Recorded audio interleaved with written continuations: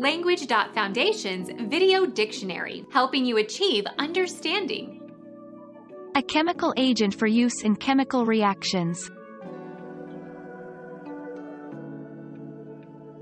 Become our student and get access to effective and free educational materials.